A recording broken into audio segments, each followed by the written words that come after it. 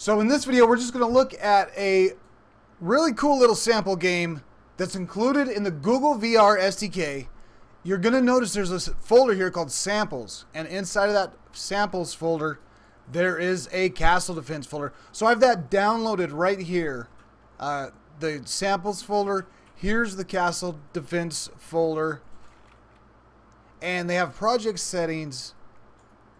They have a Unity package and here is the assets folder. So there's a couple of ways we could do this. First of all, I'm just going to create a brand new Unity project called Castle Defense. And then we can import the uh, Castle Defense Unity package, or we could copy these folders into our asset folder. Um, I've tried both ways. It's it's it's exactly the same. It seems either way. So I'm just going to import the Unity package to make it easy. And then there's a couple of changes we're going to have to make to to kind of fix a few little problems. First of all, I haven't imported the uh, Google VR SDK. So let me do that real quick. This is the Google VR for Unity. Let's bring this in because of course we're going to need that. I should have done that first. So if you're if you're watching this video, do do this part first. That's probably the best way to go. And to save some time, I know I'm not going to deploy to iOS. So that should be fine. The errors are gone. If we go to the root assets folder, there's a folder, a scene called scene, and here it is we can click play, but you're going to notice that there's no sound.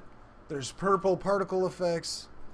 That's that, that's uh, not that's not looking good. So we first of all need to go to the audio and set the spatializer to the Google VR audio spatializer. Now at least we should have some sound. Perfect. Let's fix uh, that particle effect. If you go into the game prefabs, you're going to notice there's a cannonball prefab. I'm going to drag this into the scene and focus on it for now. It's at 000. That's where I want it. The prefab has a explosion mobile that's turned off. We need to make sure we keep it turned off.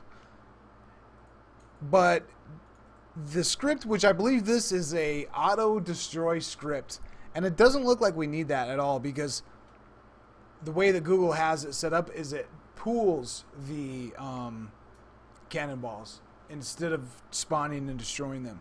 So we're going to remove that script. We're going to go to Trails White. We're going to see that it's not white. It is definitely pink. So underneath of Trails White, there's a child called Trail White. That has a renderer. Click on the renderer component it's missing a material. The best material I can find that's in this project is called ground plane translucent because that makes it look like this, which, you know, makes it kind of look like smoke. That's not the right material, but hey, it's in this project. It works. Works for me. Okay, moving on.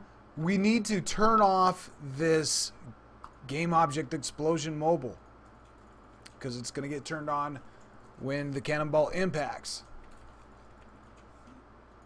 And then I'm going to click on cannonball and I'm going to click apply so that it updates all the prefabs.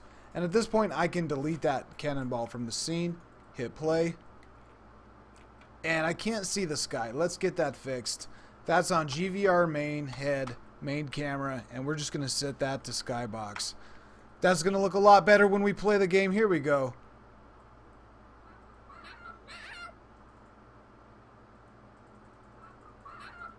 There, there, there they are. They're coming in. Yes, he's destroyed. What are these Android cardboards? I think they're, I think they're little Android cardboards. They could be gingerbread cookie though. Gingerbread cookie Android. Now I want to eat some gingerbread cookies. I need an Android cookie cutter. Or some cardboard Android guys to blow up with my cannonball. Really cool tower defense game here that comes with the Google VR SDK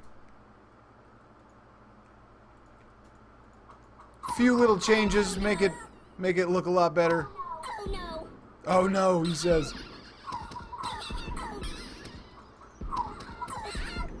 One of the cool 3D models I like in here is this one right here. Check this out. Really cool little Android, low poly looking guy. All right, guys. It's not, you can, you know, go through here, dissect the scene, figure out everything that's going on. But uh, cool little sample that comes with the Google VR SDK. Check it out.